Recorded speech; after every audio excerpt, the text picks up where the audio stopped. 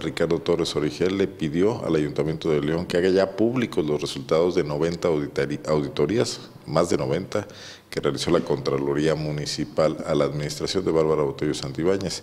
Torres Origel considera que el gobierno que encabeza Héctor López Santillana debe dar respuestas a los ciudadanos. Dijo que será este viernes cuando la Comisión de Contraloría del Ayuntamiento conozca los dictámenes que hizo en su momento el anterior Contralor, Alberto Padilla, quien por cierto era panista y ahora, hoy ocupa un cargo en el Comité Directivo Estatal. Escuchemos a Torres Origel. Yo aprovecho particularmente aquí el espacio solamente para mencionar algo. Eh, el día de mañana sesiona finalmente la Comisión de la Contraloría en el municipio de León.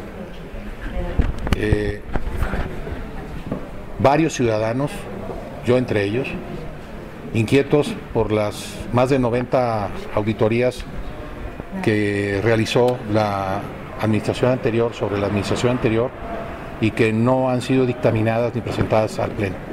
Escuché hoy en la mañana al síndico Luis Ernesto Ayala eh, mencionar que recibirá del Contralor el informe de estas Contralorías en la comisión.